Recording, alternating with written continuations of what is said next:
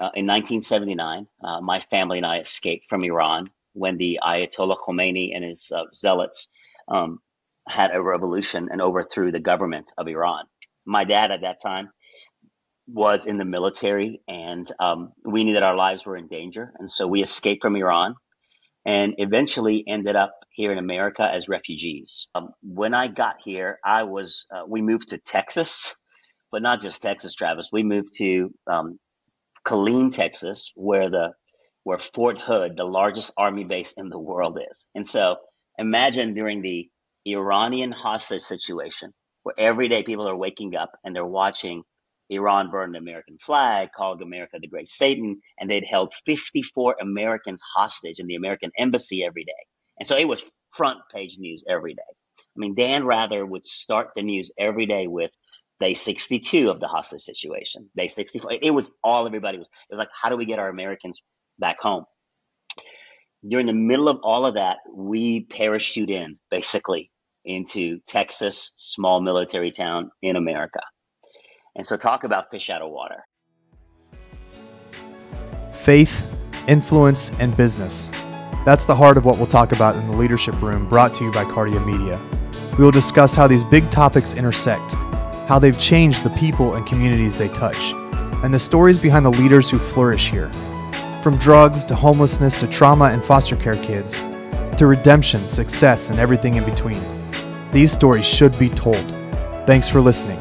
If you want to follow along with Kardia Media as we build the company, go to kardiamedia.beehiiv.com. That's K A R D I A M E D I A dot B E E H I I V dot com and sign up for our newsletter. Can you imagine moving to Texas as an Iranian immigrant in 1979 during the Iranian hostage crisis? That's what my next guest did with his family. David Nasser is an incredible man. He is the president of For Others, which is a nonprofit in Tennessee that fights for vulnerable kids around the country. He, a couple years ago, started with For Others, but before that, he was the vice president at Liberty University, which is a university on the East Coast. He um, invested in college students. He interacted with celebrities, interviewing constantly some of the most important leaders in our in our country. He has an incredible story of his own growth personally, spiritually, in faith and business and as a leader. And I really look forward to you having the opportunity to hear this story and what he has to say in this podcast. So enjoy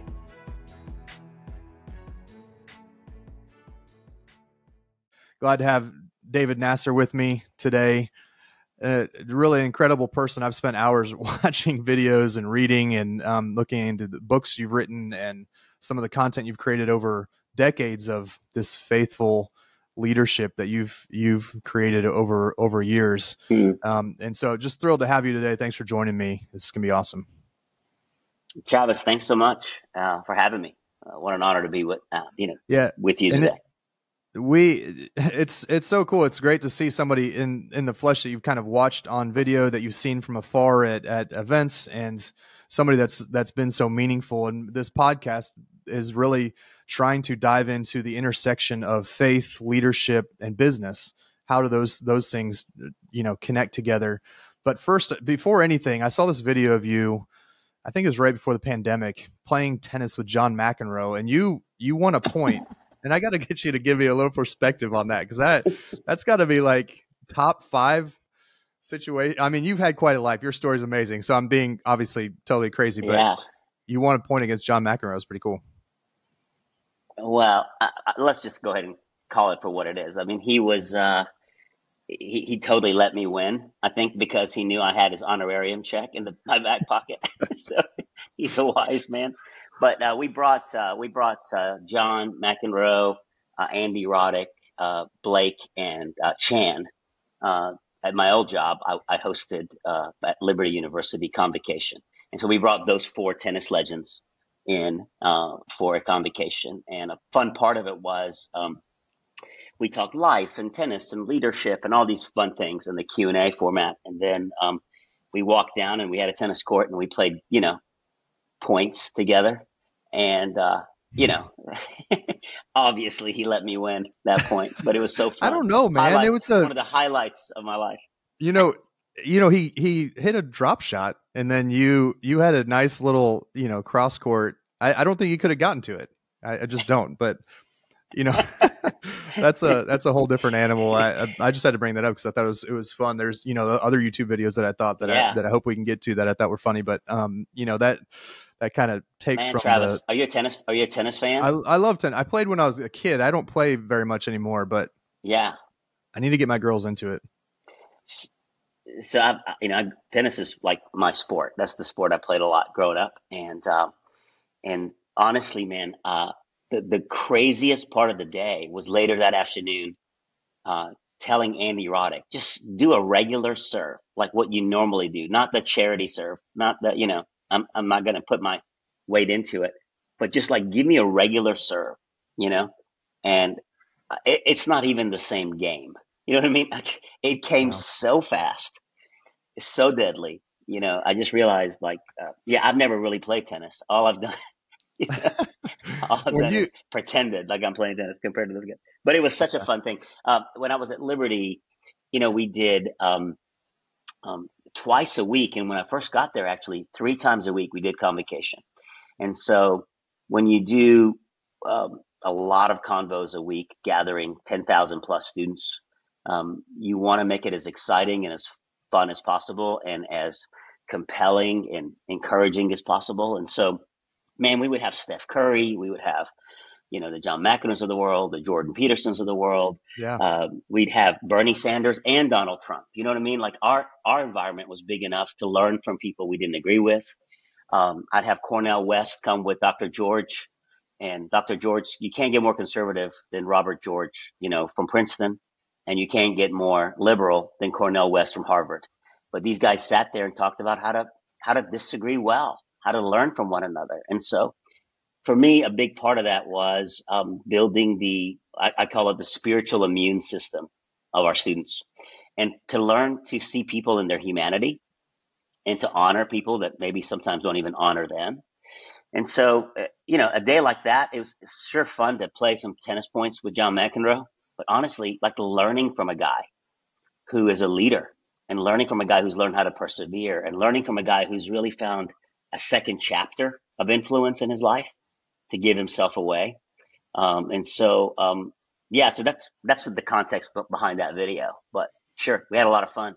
I loved it. It was fun to watch, and you know, a lot of convocations. You you mentioned Jordan Peterson, and you know, I'm gonna just jump into that really quick because it feels like a, a decent Yeah. flow just to to talk about that because you know, you guys talked about purpose, and you're in front of all these kids, and they're fighting through a crazy environment nowadays where where they're told a lot of lies and we're all kind of Mm. all of us are fighting for purpose right in some form or fashion a lot most of us find it in, in bad things and we find you know that it's not the right stuff but you had jordan peterson and you were on stage Yeah. and somebody jumped up on stage and kind of you know this this kid struggling through whatever he was struggling through with some mental health crisis and it's just it was kind Yeah. of a microcosm of our society now where you're seeing you're just kids are struggling through lack of purpose and struggle and truth and um, you know I, I think your response to that and then your follow-up conversation you had with him that i also watched on youtube was Mm. really excellent as far as talking about purpose and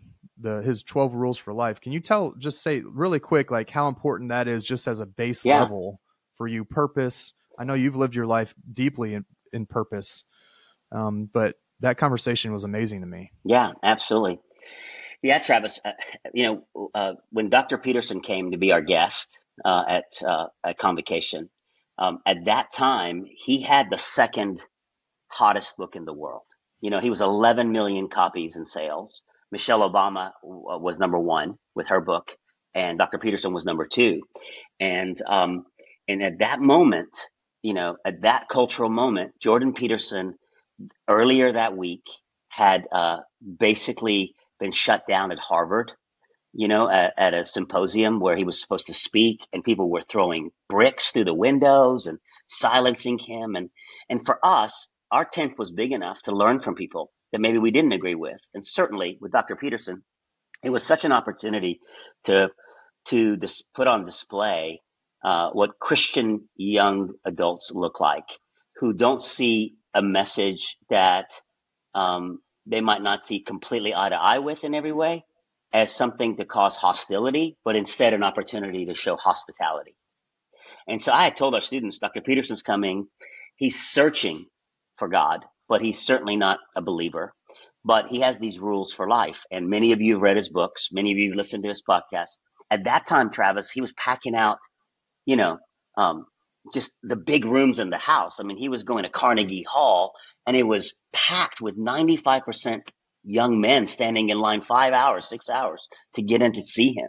And he'd really touched the chord. And so we, um, we had Dr. Peterson come and we were about 10 minutes into the conversation with him when a young man who was not a college student from our university, just he was there visiting that day, um, who had read Dr. Peterson's book and Dr. Peterson's book had really impacted him, came down and jumped on stage. And I saw him from my peripheral. Like I'm listening to Dr. Peterson. I just pitched him a softball, pitched him a question. He's answering. I look to my left and I see he had pink hair. The young man had pink hair, so it was impossible to miss. And when he jumped on stage, I thought maybe because I had some context of him being protested the week before, you know, I thought it was just somebody maybe jumping on stage or something. And and he had something behind him, Travis. So when he jumped on stage, he kind of had something in his hand behind him. So I thought, is it a gun? Is it paint? You know, is he going to spray paint on? Like, what is it? You know, is it a cup of something that he wants to like throw on our guest? So I just went into protect dad mode. You know, so I saw. Yeah, if you watch over. the video, you can yeah. see like you hop up and you kind of go and you get in between him and uh, Jordan Peterson. Yeah, and honestly, it's all happening in real time. I, I don't have a I, I don't. I'm trying to process what's happening, so I'm just trying to get between him and the guest, you know, so that I can protect the guest. And um, and he he jumps on stage. I start walking towards him, and he said really loud, "I need help! I need help!" And my natural just flow right out of that was, "Well, you've come to the right place," hmm. you know. And that's such a God moment because because as soon as I said that, I think it made him feel like, oh, this isn't hostile. Like, you know, and what it turned out to be is uh, there was a young man who was there who obviously needed help and his, his method of crying out for help certainly warranted, you know, uh, you know, uh, correction. Like that's not the way you get out, buddy. Uh, yeah, that, there's better ways to ask for help. However, I appreciated his honesty. And so I started praying for him, and Dr. Peterson came over and said, I hope you get the help that you need. And then I looked over as I was praying, and Dr. Peterson was crying, and it was just a moment, you know, uh, off script to see, I think, the posture and the hero that day was our students. I mean, so gracious, so all just ready to like 10,000 of them just going after God to pray for this young man. And, and, um, and it was a real opportunity. Then, so then we go back on stage. You know, we kind of take a few minutes to get all that settled, and we know you're throwing out the script. Then, like all the questions you had, you were going to talk about C.S. Lewis and all these different. Like that's all. That's all thrown out the door. So I said, "Hey, Dr. Peterson, you know, this young man has read your books, you know, and I know you're writing more rules for your next book, but I, I just believe the best thing I have to offer him aren't more rules. I love your rules, but he needs the ruler. You know, he needs the savior. And it, it just gave us a window to be able to have a real honest conversation with him uh, in real time in front of 10,000 students who were just kind of reeling from the shock of what just happened, you know? And it's funny, Travis, when I look back on the seven years that I was there, the greatest moments we had were always like that. They were off script, unplanned, and all of them always were not me being the hero with a microphone in my hand, but a student doing something extraordinary. You know, uh, for example, when we had um, Steph Curry, the entire reason Steph Curry came, I had invited him multiple times.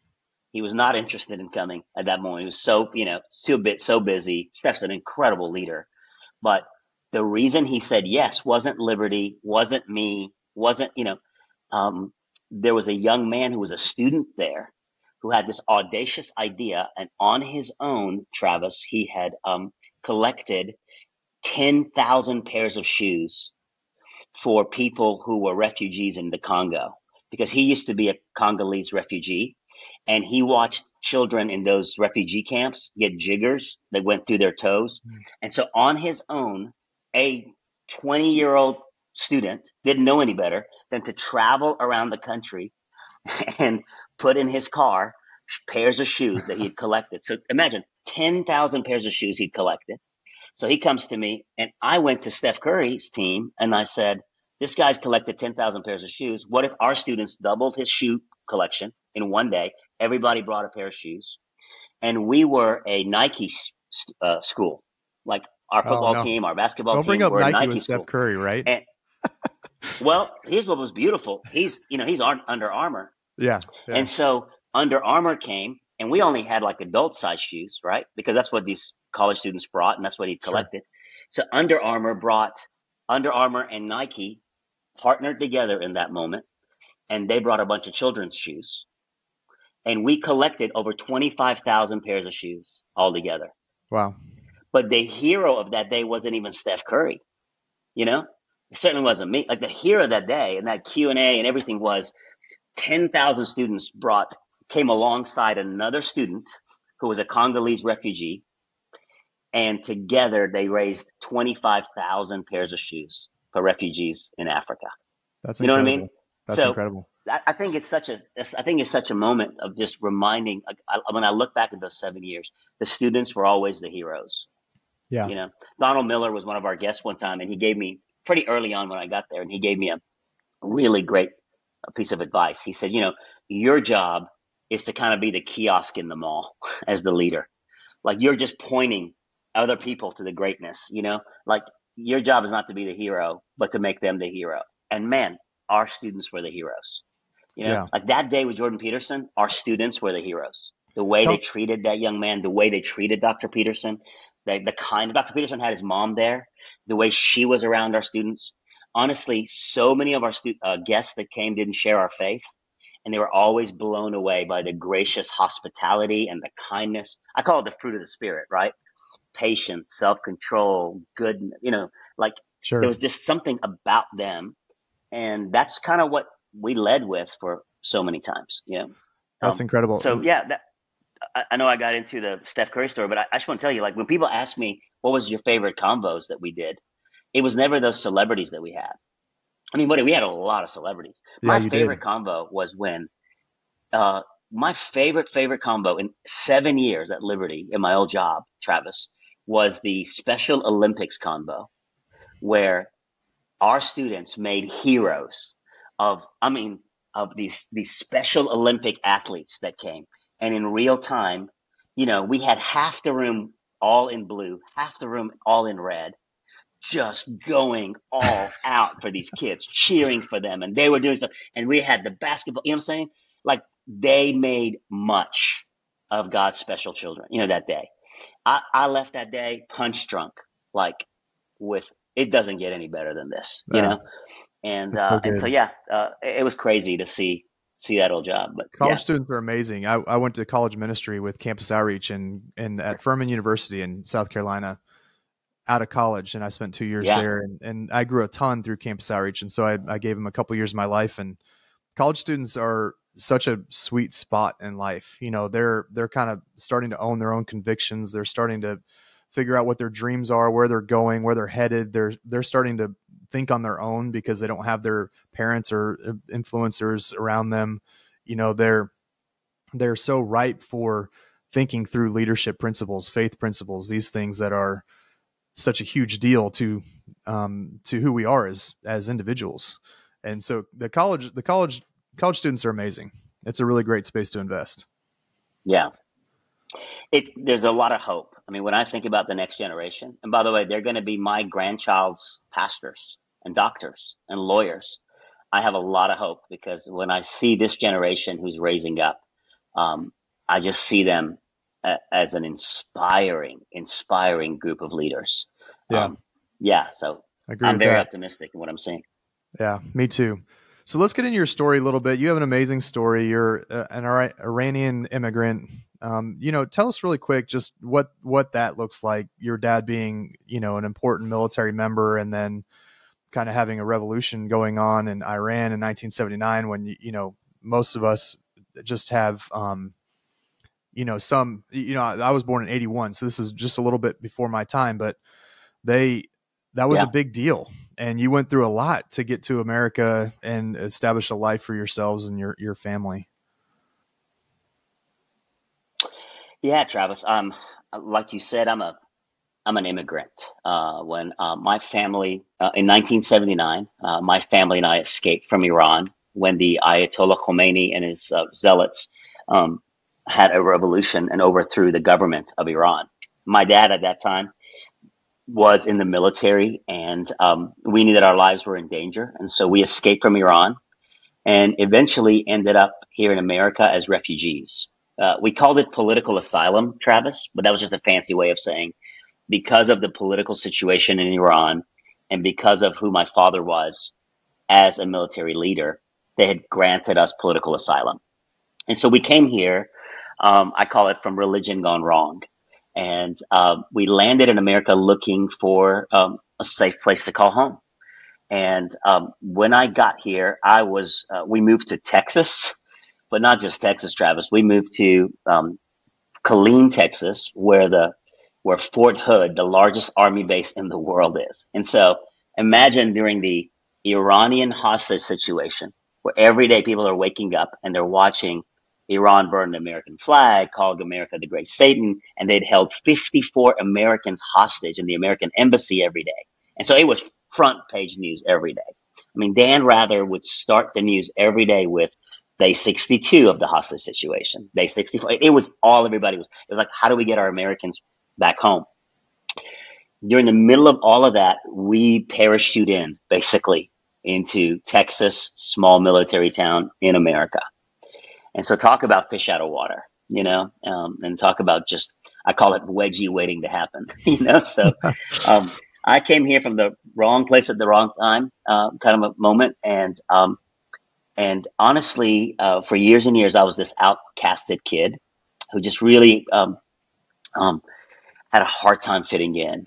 I was a bit, a bit of a loner. And, and then um, when I was 18 years old, uh, my father felt sorry for me for being an outcasted kid, and he helped me by giving me a, uh, new clothes, and he kind of gave me a make- makeover.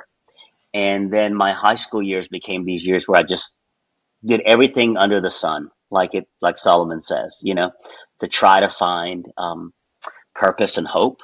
And I went from the loner kid to the kid who was kind of popular in high school and threw big parties, you know, and ended up at the right lunchroom table and I learned how to dump the right girl before she could dump me. I learned how to be, I, I, call it, I learned how to be cold to be perceived as cool. But I was just this teenage kid who was just as insecure, just as broken. And I graduated from high school and, uh, pretty emotionally bankrupt. And, um, a buddy of mine invited me to church. And I went to church and this church saw me as, um, um, an opportunity to, you know, to share the good news of Jesus. And, and so I eventually became a Christian.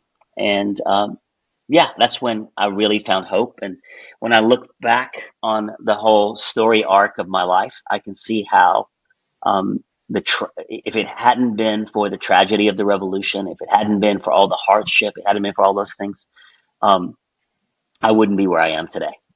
And um, you know, my favorite Bible verse is Isaiah 41, 9 and 10 where um, the prophet Isaiah, you know, is, is talking about what God's saying, and, and God says, "I took you from the ends of the earth, and from its farthest corner, I called you, and I said, You're my servant. Um, I will help you. I will uphold you in my righteous right hand. So do not fear." And I look at my life, and literally, Travis, I see God holding me in His righteous right hand, and taking us out of Iran, and holding me through all the mistakes I made. You know, and continue to make. And but yet he um, he saved me. And so my story is uh, the, the, ultimate hero of my story is uh, obviously Jesus, but the the practical hero of my story was a church that uh, when I started visiting them, a youth group. Uh, that when I started visiting them, um, saw me as, as, someone who was valuable to God, and they just started loving on me and ministering to me. Uh, it was Shades Mountain Baptist Church. Uh, that's the church that um, I always have such fond um, memories of and such a place in my heart of gratitude towards because again I, I, say youth group but they weren't a youth group. They were a youth ministry. And they just really stepped into my life. I love it. I love it. In the you know you've been through a lot you so was it nine years of like from moving to from iran before you really felt like comfortable in in school and in america like it was that long of like that many years of feeling lonely and being like the outcast kid because that's yeah. that's brutal. Yeah, man, it, it, was brutal, bro. Like Travis, the um, to be very honest, a lot of that was self inflicted. You know, um, I I think it wasn't nine years where people are mean to me and I got bullied and all that. It was there were certainly many moments like that, but people were also gracious to my family and kind to my family and not just not just the church, but like people. You know, like welcomed us in into the neighborhood. And, uh, but a lot of it was me. I, I was just this insecure kid at, at, nine years old. I come to America. It took me a while just to figure out the language, figure out the culture, figure out, you know, and yeah. then in my insecurity, I, I, just, it's chasing after the wind, you know, yeah. like it says in scripture, you know, and, uh, totally and the Bible that. said, what good is it for a man to gain the whole world, but to forfeit his soul? And that was me. I was trying to gain the whole world. And I hadn't really figured out that I was made for something bigger than myself. Yeah. You know? And so, so much of what was broken about my life and so much of what was broken in society, in, in my, in, in, in the everyday is like my high school years, you know, um, it was all about the label that I wore, the places I ended up, the parties I threw, the thing, you know. But again, you don't have to be from Iran to know that. Bible says, uh, do not conform to the patterns of this world, but be transformed by the renewing of your mind. Well, the presumption there is that there's been a transformation, you know? And so I hadn't had that, man. So because I had not been transformed by the renewing of my mind, because God did not live in me, all I wanted to do was conform to the patterns of the world. So that's, that's still a battle. I'm that's sure. where, but yeah, yeah, no, but I haven't arrived. The only yeah. difference now is uh, Christ in me, the hope of glory. You yeah. know, it's a beautiful thing. The, the, apostle said. So when did, when did you know that you were going to be called? You know, you you you were saved. You went through this kind of process with your family too, which is really unique. Where your family kicked you out because they were Muslim yeah. and they weren't weren't thrilled with you, um, you know, turning your life over to Jesus. But when when did you feel called to ministry and doing? Because you've been doing this for decades. This is not this is not new. You've been kind of this faith leader over a long period yeah. of time. Yeah, I'm old, Travis. you're not that. You're not that old. Believe me. I think the older you get, the more you're like, okay, 40s isn't old. You know, 50s isn't, isn't as old as it used to be. I'm in my 50s. Uh, man, I, the night I became a Christian, I just remember thinking this. This sounds weird, but I, I didn't have this uh, moment of calling like some people have. God, God is so unique in the way he calls people in a very different way, you know, and everyone has a calling on their life. But as far as a calling to a ministry profession, for me, Travis, the night I became a Christian, I just remember thinking, um, this is too good to keep to myself. I felt like I'd found the cure for everything that was broken in my life. And I knew all my buddies not my Iranian buddies, my American buddies, my high school buddies, the ex girlfriends. I, I knew all these people that that were longing for the same kind of fulfillment that I was longing, and going to all the wrong places looking for it. And uh, and so I just remember thinking, this is too good to keep to myself. And and so I just went out and started telling my friends about the Lord. So nobody was handing me a microphone to go speak. You know, I just felt like um, there was a burden in my, um, uh, you know, in me to go share, to talk about what God had done. Later on, I realized that I, I had better language for it. But, you know, uh, scripture says the blood of the lamb and the word of our testimony, which means share the gospel and use your, use your own personal testimony to testify to the power of it. And Travis, like, I didn't know the blood of the lamb and the word of our testimony. I just knew that God had done something great in my life and I would just go to Burger King and talk to people about Jesus. I'd have a revival in Kentucky, fried chicken. You know what I mean? I would just literally go to the Kentucky Fried Chicken and stand in line and buy somebody's meal and go, I'll buy you your meal. But if, if while we're sitting there and you're eating, I get to tell you about what God's done in my life, you know?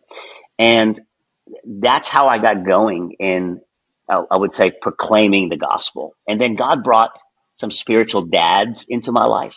There was a guy named Jay Strack, and there was another guy named Rick Stanley, and then eventually Franklin Graham and the Billy Graham organization. And so God brought some spiritual fathers into my life um, that kind of took me under their wing and gave me platform.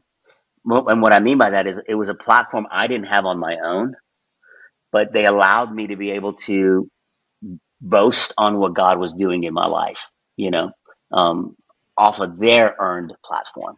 Yeah. And uh, so my story is uh, a ministry calling is just being in the shadow of great father figures in my life who, and men um, and women in ministry who just opened doors for me. And, and, by the way, in the meanwhile, God also brought um, people that just um, poured beyond their platform. They, they poured theology into my life. Um, you know, I was a Christian for a few years, for example, Travis, and um, I moved to Houston and to be an intern at a church. And Dale and Vicky Bynum graciously opened up their home. They were church members at the church that I went to be an intern at, and a youth intern. And they opened up their uh, home to me, and I lived, you know, in one of the bedrooms in their home. And Dale Bynum had turned his uh, living room into a library.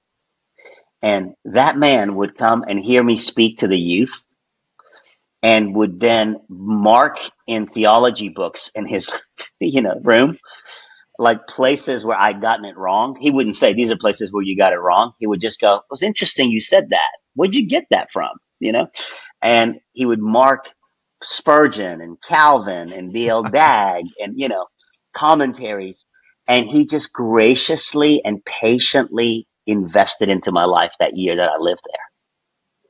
And honestly, like I look back and goodness, people like that just stepped into my life and helped me, you know, um, and shaped me. And, and um, so, yeah, I, I think I've done mostly just messing up.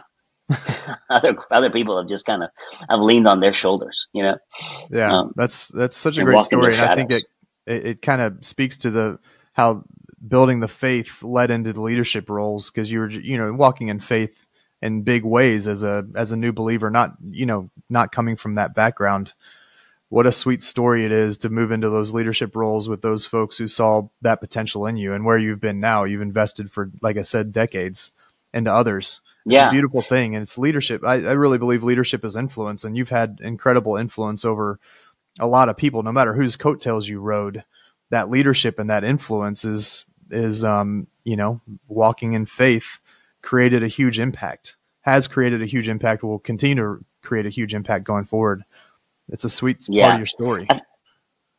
You touched on something there, you know, just again, influence. Like Travis, if you look back at your life, you know, you've been so blessed and successful, you know, I mean, goodness, from what what God has opened for you so rare in politics and as a communicator and you know you're just a, a visionary leader and you're, you're just an unusual man you know? But if you look at it think about the people that believed in you early on that opened doors for you that had patience with you. Let had a you were they were a safe place for you to make mistakes. They didn't give up on you. They should have fired you they didn't fire you. You know what i mean? Yeah. uh, and my life is filled with those kind of moments. I, i'd love to ask you like anybody come to mind like that just really believed in you early on or really helped open the door well, for you? I mean, my mom above anything. You know, I, we we moved a lot when I was a kid. Mm. And we moved in the middle and going into seventh grade year from Orlando, which was a melting pot of people, to Dublin, Ohio, which was a very homogenous community. Yeah. And um, and it was a very clicky community. And I was I was bullied mercilessly mm. go between my seventh seventh to eighth grade years high school when I finally started kind of growing wow. into my body and, and getting better at sports. I kind of I kind of grew into my own in high school and became you know I could rely on sports as the thing that kept people from messing with me. But in middle school, man, I was I was bullied yeah. mercilessly. So my mom was kind of the the person that we always talked about Jesus and like this is not our home and that you know this is these are important but mm. these ideas of faith are important to lean on when we're struggling really hard and we have adversity but it wasn't until in college when i had men in uh, campus outreach that were investing in me that i grew a ton in my faith mm. and started owning those convictions myself when i started seeing the importance of my own growth and being bold and courageous speaking you know talking to others about jesus and and um, I mean, really right. using that as an influential model for you know using the per and, and what I've grown in the last ten years is using the person of Jesus, not just the faith leader, but the person of Jesus in a leadership role. What I'm doing in politics as the example for how you influence going forward. Like this, this man was a service servant mm. leader. He wasn't just a spiritual leader. This is a man that walked the earth that influenced more people than anybody that's ever walked the earth. And why is that? So, like learning the principles of the leadership right. of Jesus is important as a faith in faith because I think they're everyday principles that we can use to move the needle in relationships to love others and um, especially in politics today politics is such a crazy crazy thing but i just had a lot of i had a lot of people yeah. my mom i had several mentors in in um, college i've always searched for mentors after leaving college so when i moved to missouri um, i worked with my dad which is you know i want to get to once at some point because i know you work with your son um, but the you know, I had that, yeah. and then I have another mentor that spends time with me and the, these brothers I walk with. But I think mentorship and having people there with you, kind of um, telling you where you're going right and where you're going wrong, is super helpful. Mm-hmm. Sure, absolutely, that's so good. Yeah. So let's let really quick. Um, you're an author.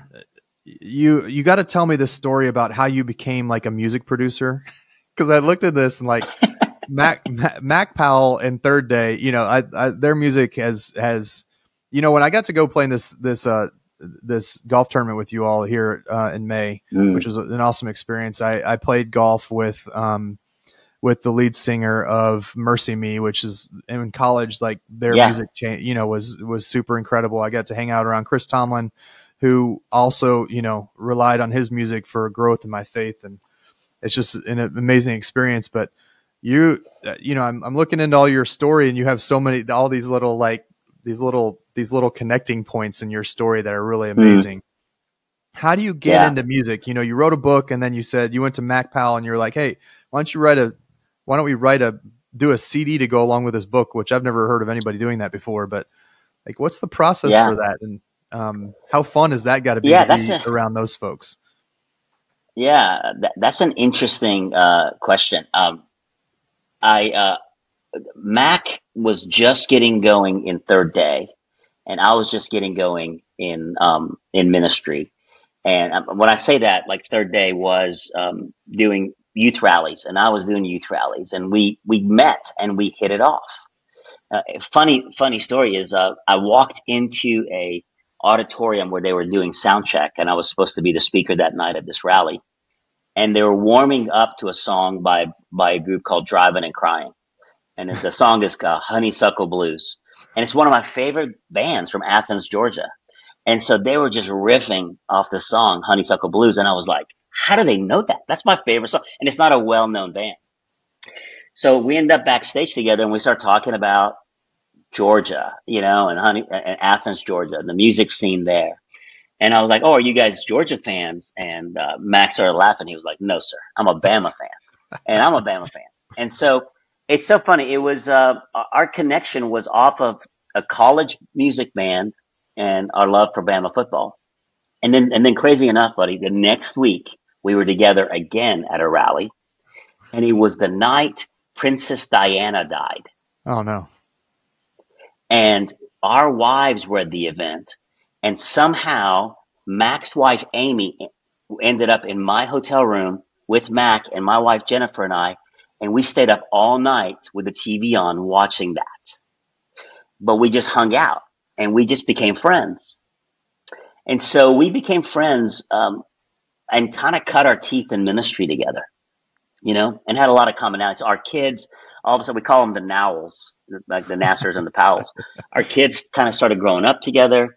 And fast forward a few years later, and we were on vacation and we were flipping burgers. And Mac said, What are you working on now? And I said, I'm writing this book um, where I'm trying to portray this idea that God is not silent about every circumstance of our life. But the primary way that God reveals himself is his word. And I was telling him about that, and I said, I want to pick like 20 different places where God is speaking out of scripture. You know, if you're going through hardship, here's what God has to say. If you're going through a promotion, here's what God has to say. You know, and as I started telling him about that, I talked about some of these passages of scripture, and Mac like literally we're flipping burgers together and we're talking about like what's next, you know, what I'm working on next. And Mac said some of those verses um, are awesome because I, you know, because they, they would make great songs. And we started talking about that. And then he offered, he said, Hey, if you want, we can do an accompaniment, uh, like an, an accompanying CD that has all the verses from the book that you can slide into the book. And I thought he was just being sweet to me because he's so much more famous than I am. And I, and I was like, no. But then like the next day he goes, Hey, if you really want to do that, I've got all next week left open. So why don't we text all of our friends and ask if they want to come do this thing? And my wife loves bluegrass music. My wife, Jennifer. So I said, Hey, can it be bluegrass? I was kind of kidding. And he was like, sure. So man, we did a bluegrass scripture music CD. We did it in four days, you know, like really, really quick the next week and slid it in a book called Glory Revealed. And the album was called Glory Revealed. But somehow that little record, um, God had his hand on. Because yeah. I think it's just God's word. You memorize the songs and you, mem- you, you memorize the 10 songs and you're memorizing over 50 passages of scripture verbatim, you know? Yeah. So, um, and, um, man, the next thing you know, uh, Provident took it and it won a couple of Dove Awards and so I'm literally a living example of what happens when you just have friends in high places. I know nothing about That's music. Not true. That's not completely true. Like there's there's some some effort you have to give. So I you know I think you're being I very mean, humble. I was the executive producer, as in I pointed to Bible verses and said, "This is a good one, guys." Yeah, so listen, you David, need to take more credit. If I'm you, I'm like, heck yeah, I wrote a I wrote an album. I won awards. Like I'd be wearing that. I'd have a tattoo. I didn't even. I mean, bro, it's they're literally scripture. I think when I get to heaven, David is going to come up to me and go, "Those are my songs. Yeah. You're getting royalty yeah. checks off of Psalm 51. So I funny. wrote that." You know. Well, certainly there's a. But there's honestly, a just beyond even even beyond Chris, I'm sorry. I was going to no. tell you, like even be even so much beyond Mac, like my friendship with Chris, you know, um, uh, and what we're doing together at For Others, uh, and and so many of these other artists now lending their voice, like Bart, who was your you know, golf partner. Um, these guys, we all just got going in ministry together and watched each other's kids grow up and ended up in green rooms and events together. And now to be able to um, see God open up all these doors that I don't have the ability to open. You know, Chris Tomlin has so many more doors that are open to him than, than for me. And so, so often, um, he will leverage his good reputation. He will leverage his voice. He will leverage his audience to help us be able to do the things that we're doing. And so yeah. again, I think so much of my life is uh, being at the right time at the right place and just keeping your head down and letting letting it. God open doors that I couldn't have the ability to open on my own. Yeah. Since you brought up Chris, let's move into the business side of things where you you know you left Liberty University yeah. as a VP and uh, higher up and getting to do all this really amazing stuff bringing guests in front of your kids and your um, convocations, thousands of students.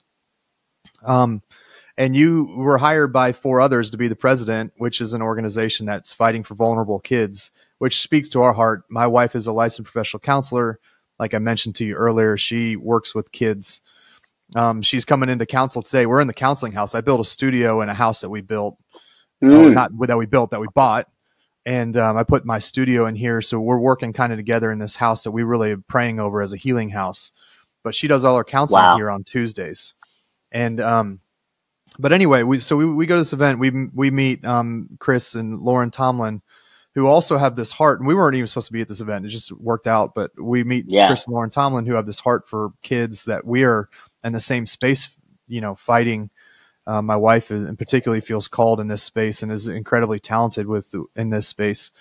Um, but I'm a state legislator who you know can impact policy too around this. And you guys are doing this stuff that I think in my campaign, which is a very competitive campaign last year, to to become a state senator, one of my tenants, one of my three mm. tenants was fight for kids, protect kids, because we're in a society that we're I don't I don't think we're valuing kids like we should, and that's like I don't know. It breaks my heart. I know it breaks yours. You wouldn't be doing what you're doing if you weren't, but that's a lot in there. What? Let, maybe you just start with this question. How did how did you meet Chris Tomlin? How did you guys get this connection? how did you get that job? And then we'll go from yeah. there beyond all the stuff I just the broad stuff I just mentioned. We tell this story all the time because people always ask us, like, now that we locked arms and helping children together with For Others, how did you meet? Comes up a lot, and uh, we we met uh, almost 25 years ago in Memphis, Tennessee. Uh, the night that we met, um, we were carjacked together, like at gunpoint, carjacked. Like they took my rental car, and so it was traumatic the way the night that we met. But we just kind of bonded that night, you know. And um, at that time, you know, we were just two young guys again, like getting going in ministry, and uh, and literally at gunpoint, this guy takes our my rental car and um, and we just have this crazy story on how our friendship began.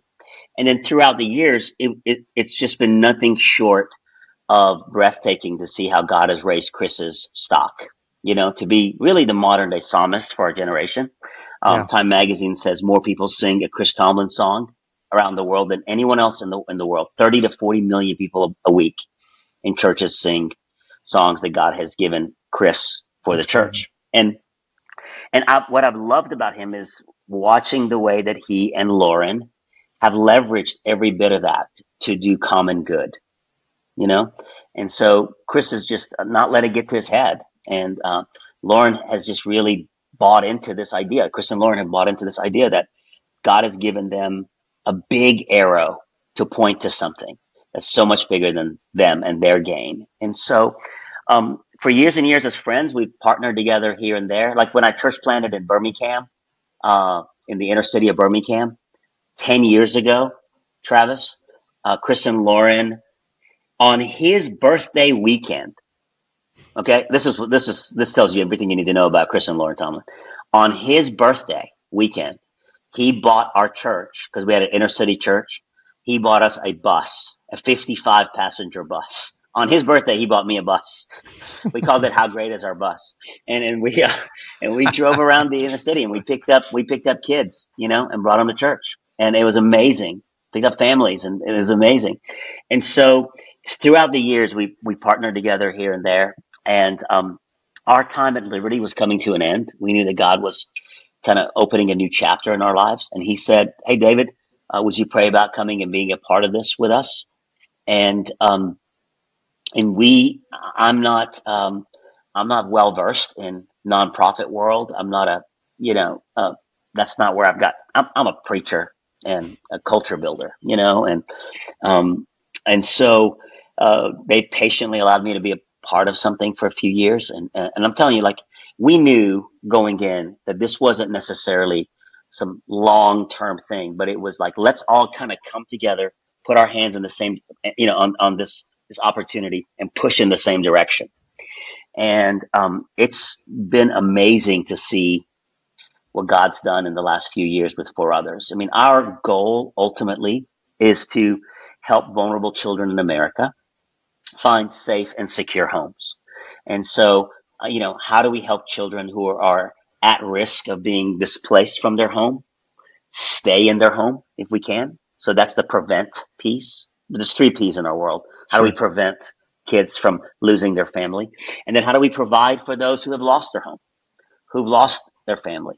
So they're in the foster care system and, or they're waiting to be adopted. And so, um, how do we help, you know, provide? And so there's the prevention piece, there's the provide piece. And then those who are in the system and never find permanency as a place to belong, but they're aging out of the system. That's the third P. How do we prepare these children? And maybe it's too late for them to be adopted, but it's not too late for them to belong. You know, and the key there is mentorship. And so how do we find them a good mentor? And so those are the three P's. Those are our pillars. And we wake up every day and think about them. And the event that you were at with us was a golf tournament, celebrity golf tournament, and then a, a night event. And it was about raising awareness and funding. And um, we we take the we take the funding and the awareness, and again, it's all hands on deck. The power of the collective and we're pushing and we're pushing. But honestly, Travis, the heroes in the trenches are people like your wife. You know, you're the ones face to face every day in that counseling cabin or whatever you guys call it, you know, yeah, yeah, doing the good work. And so our question is like, how do we help churches become foster friendly? How do we help good counselors like your wife get more help? How do we find, how do we help foster kids not get um, children in the foster care system not get bounced around seven times? That's the national average. That find one safe place to belong and they stay, which means better counseling, better support, better wraparound, you know, um, help. And so those are the things that we try to do. It's, we, we try to have a holistic strategy on how we serve. And we lean heavily on the platform of a lot of our folks, including our founders, Chris and Lauren. And then, uh, for example, we'll start here in, uh, in the next month or two being out on tour with Need to Breathe, uh, you know, and we just um, saw them every night. The other you know, day, they're yeah, they're terrific. Every night, Bear is going to stop the show and you know wave a flag for vulnerable kids. You know, that's incredible that Bear has a heart for this. And this is personal for him. Uh, you know, Bear's wife, um, this is her great passion too. Like they have a great family, but they care about kids who don't have one, who don't have a family. And so our partnership is about like there's people come to see them. And so how do they take a few minutes to, to do what they're doing?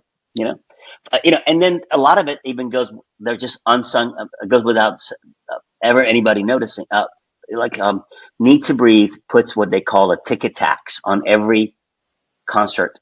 And so when people come to one of their shows, you know, whenever you buy a ticket to go see Ed Sheeran or Taylor Swift or whatever, there's all these little hidden fees. Well, this isn't a hidden fee. It's a $1 ticket tax that they put on their shows. And what's amazing is no one's, people go, what is that? And they go, that's money that we set aside from, for every single person who comes to our shows to help do good. And they have helped in the tune of millions of dollars with our good friends One World Health, uh, build hospitals around the world for vulnerable children around the world. And in the more domestic, in our own backyard, we're their great partner. And uh, we're helping kids in the foster care system. And so I don't have that audience. You know what I mean? Nobody comes to see me, buddy. Like, need to breathe 6,000 people a night. You know what I mean? Like, they have an audience, trusted audience and so for Bear to take five minutes of of a concert and just swing for kids, you know what I mean? Like wave a flag for kids, you know, swing for the fences for them. It's so valuable. And we're so grateful for those kind of partners. That's amazing. And I, have got to ask you, not, not a question necessarily for that, but just for my own selfish interest, but yeah, two, two things. One, um, how do we get you guys to come to Missouri? Like, and do a concert. You know, get Chris and get get Need yeah. to Breathe, and we'll do something. Brent B. Shore, who's a great friend, he can help figure yeah. out like where do we do this? How do we make this a, a big thing? But we can get friends and family and and create kind of a big a big thing about it. My it's very it's very precious to us. My wife and I yeah. are calling my father in law, who's an incredible man. He's his son, my brother in law, is also a counselor, and he works with families. Mm. And then my father-in-law is very, very passionate about this call to to um, for counseling, and he's he's got his own foundation to raise money for folks to get the counseling they need because there's such a huge need in the mental health space.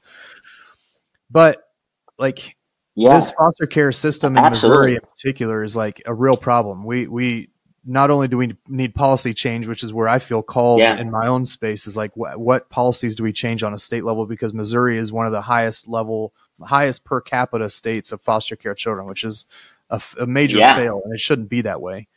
And secondly, so how do it's, we? It's interesting. Yeah, I'm sorry. Go ahead. Go ahead. No, that, I mean that, that's that's me shooting my shot. Like, come to Missouri. Yeah. Let's.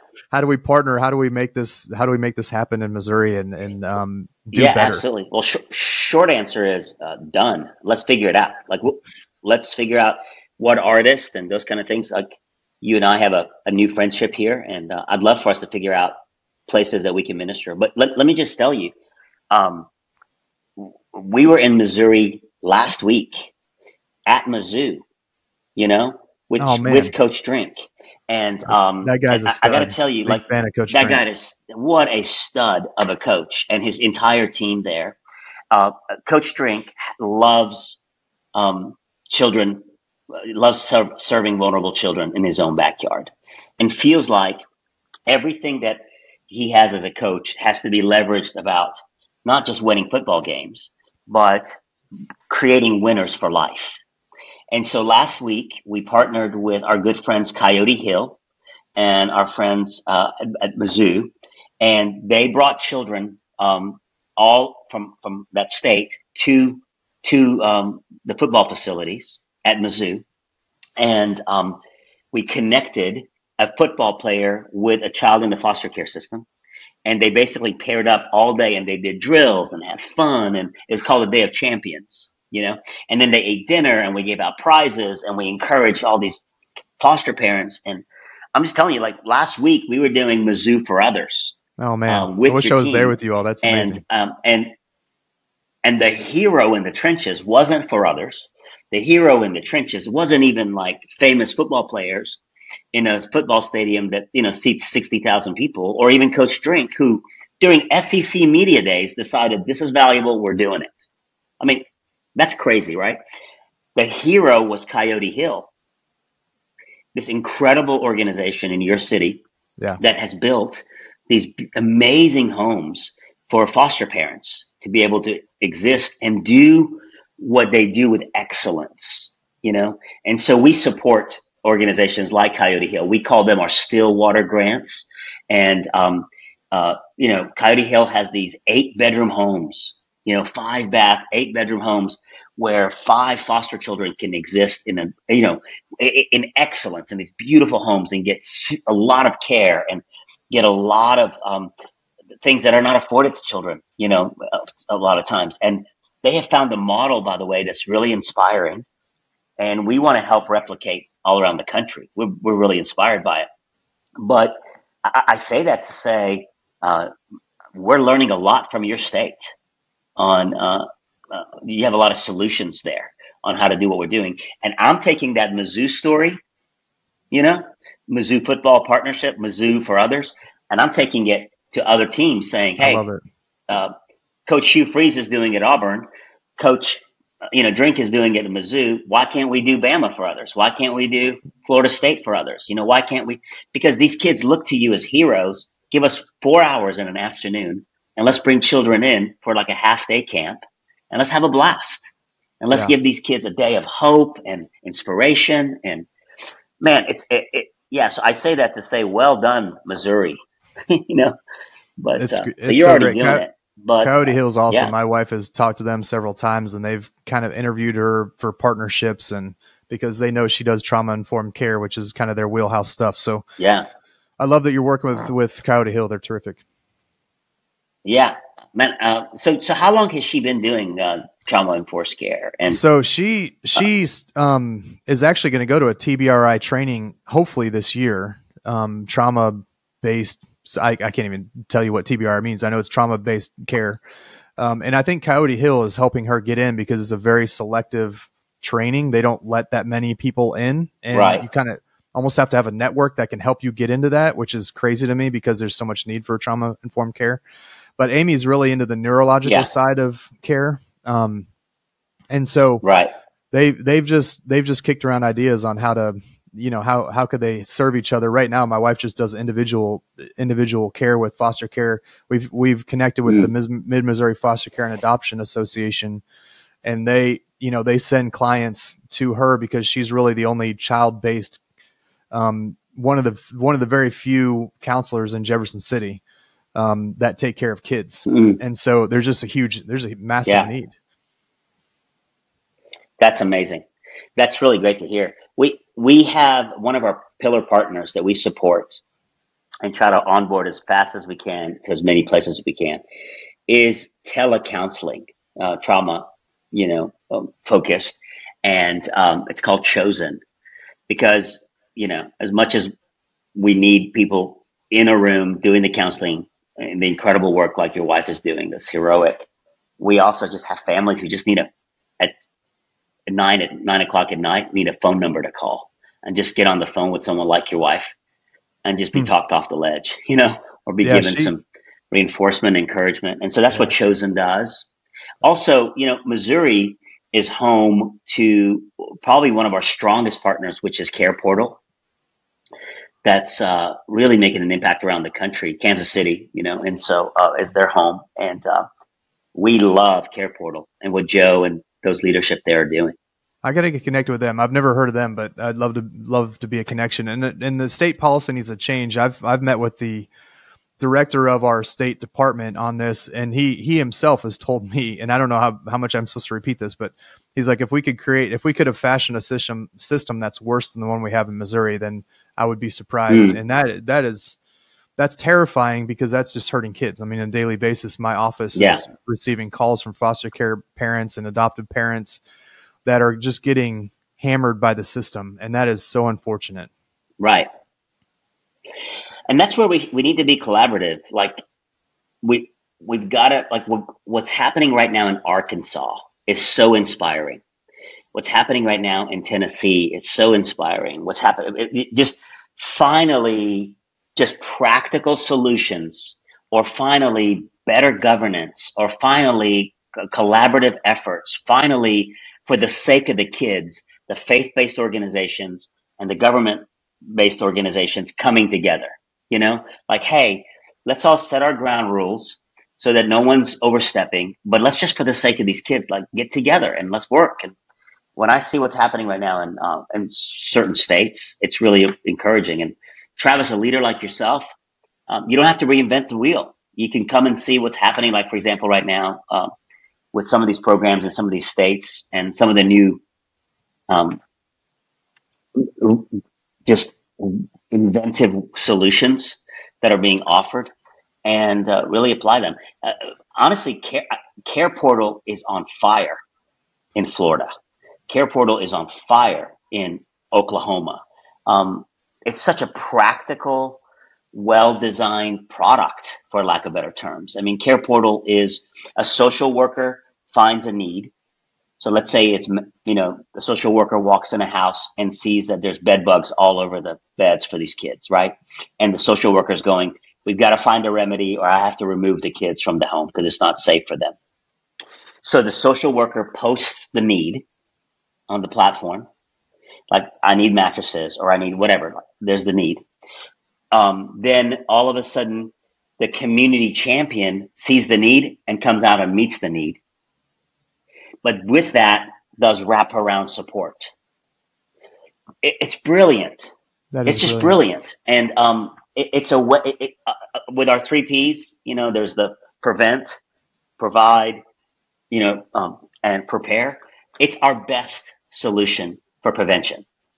You know, a, a lady's transmission falls out of her car and she, and she can't make it to work. And all of a sudden, she's missing a week worth of work. She's about to lose her job, which means she's going to lose her kids. Yeah.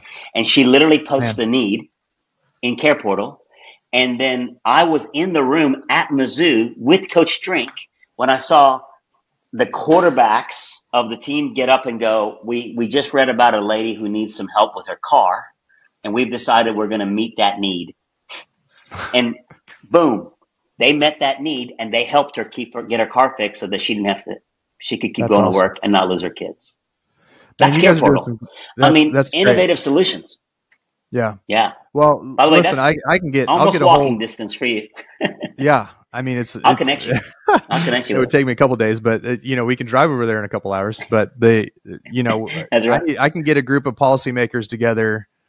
Um, just the nature yeah. of being where I'm at, and and tour a place like that. I'm actually was supposed to be in Kansas City on August 4th um, mm. for some meetings. So you know, I, there's all kinds of ways to, to, skin the cat. I just I just need to know what I can do, like what's been effective elsewhere, because I don't need to reinvent the wheel, like you mentioned. Absolutely. Um, and I, you know, we've we've we're coming up on on an hour here, David. I know that was that's about the time you had. I appreciate your time. I have I have one more um, thought for you, and this is just for, for others. I love your yeah. organization. You guys are amazing incredibly encouraged by what you're doing, and you can find them forothers.com. Is it forothers.com? Is the website for you all? It is, yeah. Um, what you're doing there to to fight for vulnerable kids is amazing. And and you know, starting this media company, part of what I'm doing is just kind of giving people advice on media. But you guys have an incredible story. You got to you you know you guys do a great job. Your media team did a great job on on highlighting the event that happened you guys need to keep telling that story. It's it's incredible, and there's so many ways to do that. You know, whether it's you having a podcast or a weekly video, or you know, I'm sure you're busy. I'm not trying to give you any any advice because you know you guys know what you're doing, but you know, just love to love to see content from you guys because what you're doing is so incredibly mm. important. Um, and those videos you just released were were awesome. Well done. Yeah, well, thank you, man. We, I agree. I mean, we're a young organization and sure, have to continue yeah. to develop and get better and better at uh, at telling our story. And and honestly telling the story of these amazing heroes who are stepping into the life of of these children and, and doing the good. Nothing nothing inspires someone to adopt more than an adoption story. Nothing yeah. inspires someone to step into the life uh, of, of, a child and rescue uh, more than someone who's already who's done that you know in the past. And so um, yeah you're right. We got to get better at that, and we're going to keep growing. Um, we have a board member uh, who owns a video company, you know, and uh, he's the primary owner of uh, an incredible vi- uh, storytelling video company, and and um, uh, they and so that's what we're just blessed in that uh, Chad on our board, who's this incredible charismatic leader, um, and has has just we have the there we have them at our disposal to be yeah. able to utilize, and uh, it's just again a testimony of what happens when a bunch of people bring their resources together, and we do together what we couldn't do alone. And so people go, man, your social media looks so good. You have a, they're very talented people, but it's just it helps to have a board member who owns a great video company. yeah. You know? Well, being in Nashville being too, to tell like you have you have so so access to so many so much talent in Nashville too. Right. Right. Yeah. Well, that's absolutely, that's and it, amazing. It doesn't it doesn't hurt to have a. Yeah. Go ahead. Well, sorry. The last question I'm going to ask, and then I'm going to let you go.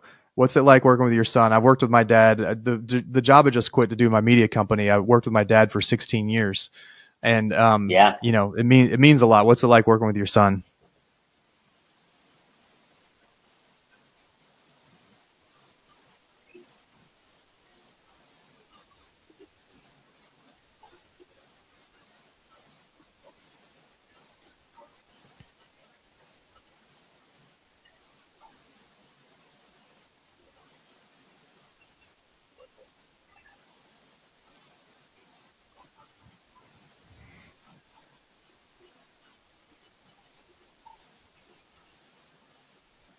Hmm.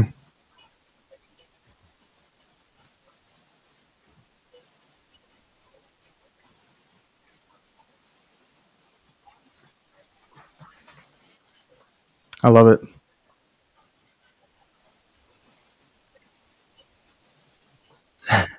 Is he in the room? Tell him I'm so proud that he's working with his dad.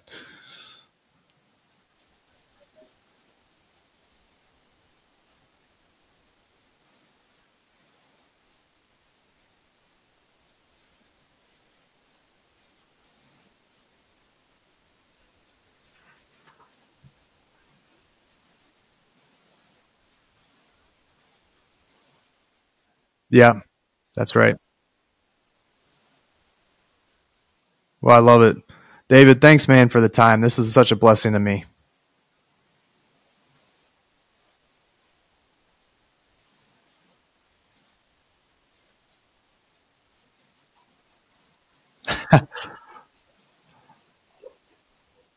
I, listen, I'd love it. That'd be that'd be amazing. Um, we need all the help we can get, and I'm I'm willing to put my Senate Senate career on this this policy change. It just needs to happen. Like if if I leave and what I've accomplished is helping fight for kids, then I've done what I've I need to do. So appreciate your work. All right, brother. We'll be in touch. Thanks, man. See ya.